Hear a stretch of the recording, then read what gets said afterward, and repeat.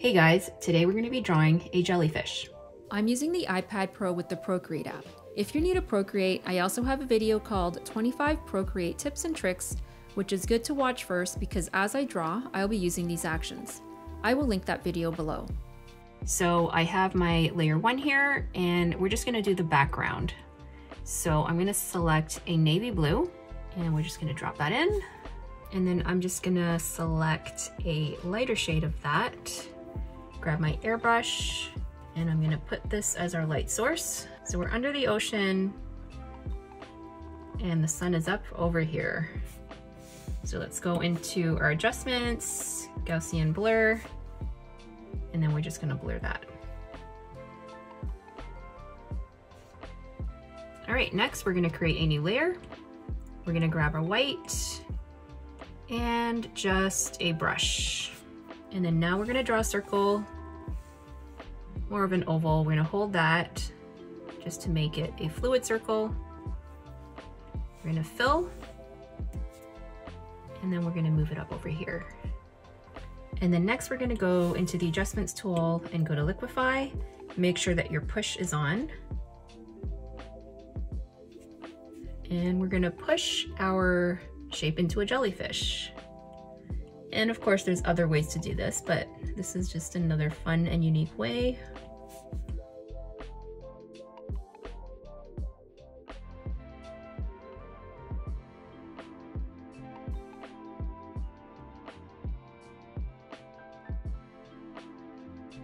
All right, so once that is done, we are gonna take our eraser, make sure it's on an airbrush, and then we can start by erasing the inside of the jellyfish.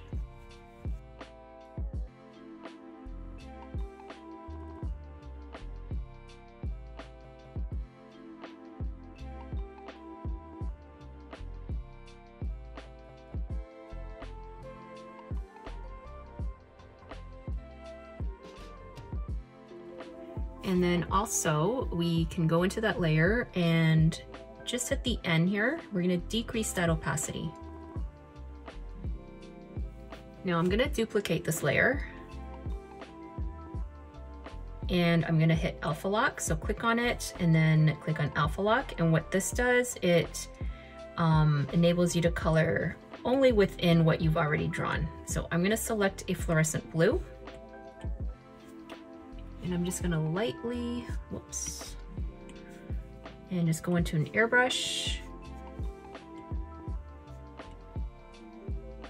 And I'm just gonna lightly color that in with blue. And I'm not gonna do all of it, just certain sections.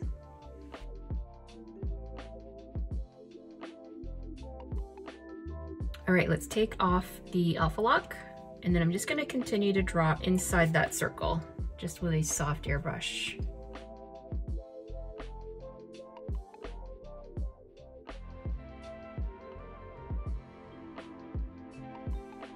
And we're lightly, lightly doing this.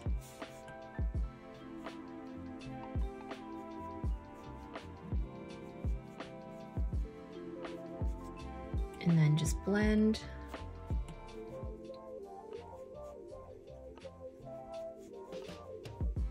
So we're looking for like a translucent, transparent type of shape. All right, so let's merge these two layers down together. So we're left with just one layer. And then now for the other part of the jellyfish, we're gonna start a new layer just above the background.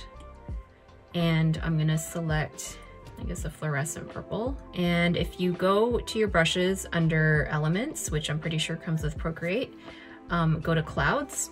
And we're just gonna start coloring in here.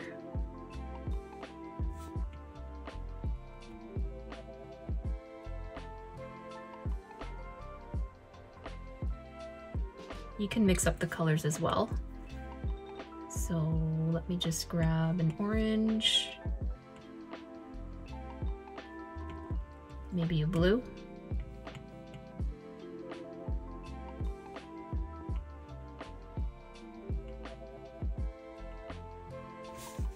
You can also carry it underneath and then we can blend it after.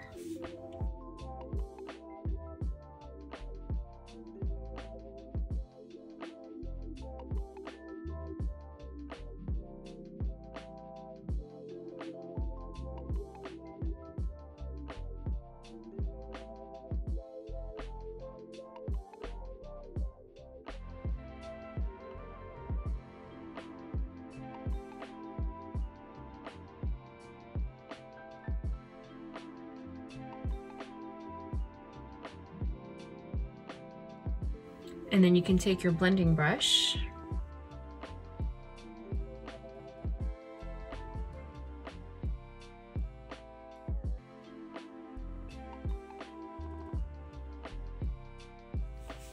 You can blur the edges as well.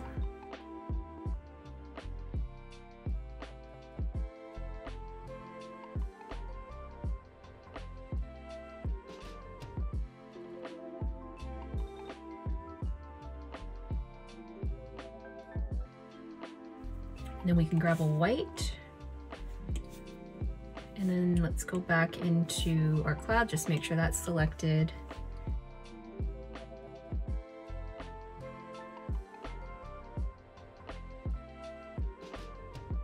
And then now we're gonna create a new layer and we're gonna select just our regular brush and then click into the brush settings. Just make sure that your stabilization is at max because then you'll get a fluid line like this. If you are at none, then your lines will be a bit wonky. So make sure it's at max, hit done, and we kind of want to stroke just a bit thicker than that, and then we're gonna draw the lines of the jellyfish.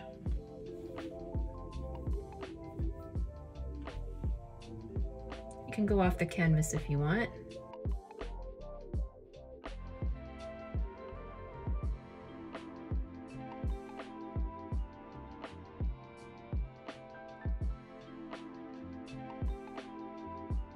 And I also just want to decrease the opacity of that. And we can also just put a slight blend on that.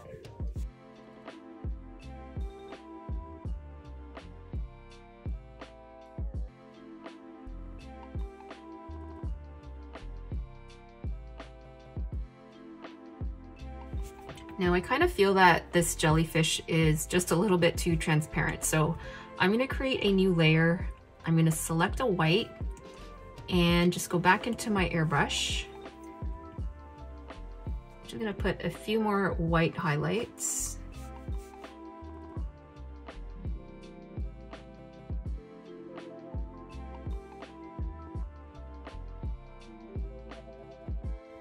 And then just blend that all together.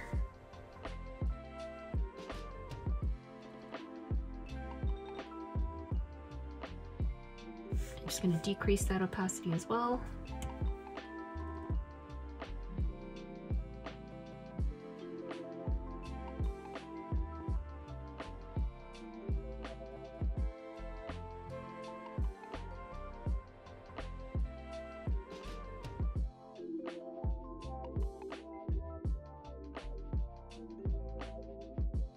And then finally, the last thing you can do is go into your background layer, go back into brushes, go under elements, then you're gonna select water, and then you're gonna grab just a light blue like that.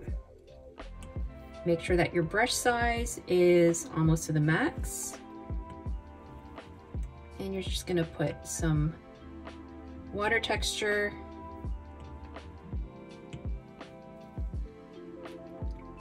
And there you go, guys.